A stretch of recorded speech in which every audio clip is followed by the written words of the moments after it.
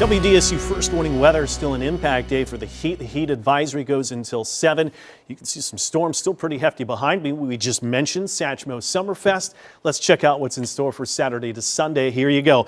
I have the hottest day Saturday, unfortunately. Heat index could be approaching excessive heat warning criteria, but that should pop up some numerous storms afternoon, evening hours.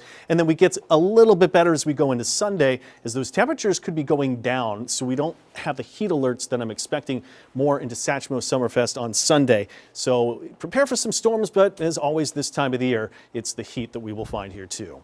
Right into WDSU first warning weather Doppler radar. I've been showing the storm right over the city and the metro. Well, it's starting to rain itself out, really coming to an end as you head to the CBD, as you go to the Garden District and the Warehouse District. You head over into the West Bank. We've got storms winding down Timberlane now to Concession Belle Chasse, English Turn, still some hefty rain. That's our Doppler radar, WDSU Doppler radar. It's still raining pretty heftily over Algiers and then over the river to Arabi, lower ninth as you head Chalmette. And we've had almost two inches of rain that's fallen in some spots, so pretty hefty rain rates. Look at this storm, Mathews and Lockport, really hefty here too. And developing some showers into our river parishes, Convent. And as you get towards South Vacherie, Bayou Buff getting a little bit of rain here too. Can't forget about our friends and neighbors, Bay St. Louis. You got a shower storm, but it's just west of you right now. But that kind of rounds up the storms that we've got here today. I mentioned this evening that we've got still that heat advisory for the next 40 minutes or so until 7 o'clock. Heat in the seas have been really through the roof. I want to jump right into the tropics, though, because you've heard about this moderate, medium chance for possible tropical development, this system. But the tropical development zone, look at this. It's more Bahamas, the chance it's Florida, and off the southeastern coast of the U.S very minimal chances it could go to us. Still some favorable conditions for the water temperatures, but look at this system doesn't have much to it because it's in some drier air, Saharan dust right now, not getting much storm activity. This is what we have for the water vapor. That's where we get the humidity in the atmosphere from the ground up and through the air in several miles. Very dry air surrounding that too, and also you can see that plume of Saharan dust.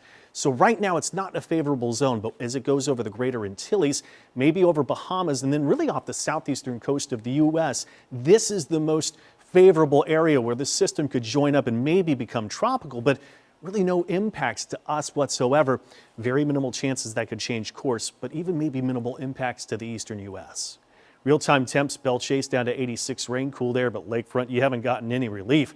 Still feels like 110 in Slidell. I still have heat alerts that should continue all the way up until the weekend, and you should expect impact days. But some relief could come with the storms that start to arrive. Got that heat that extends all the way to the now northern plains, even into the northern Rockies. For us, we've got the edge of that heat. And the storms will fade away here tonight, so not going to show that part of the forecast. We know they'll go away. But 70s here to wake up for most tomorrow morning. And we do it again. Lake breeze ocean breeze storms that develop during the afternoon. Again, 20, 30% chances. I know the storm's right over us right now, but those chances 20, 30%, and it's most about the heat. 95, 96, feeling 108, 111 out there. And look at the heat advisory tomorrow extending all the way to the coast. Heat index could go all the way up to 111. Of course, that's a weather impact day. And we've got more heat alerts I expect through the rest of the week. 20, 30% chances of those lake breeze, ocean breeze driven storms, but Saturday night storms should bring a little relief in the Sunday.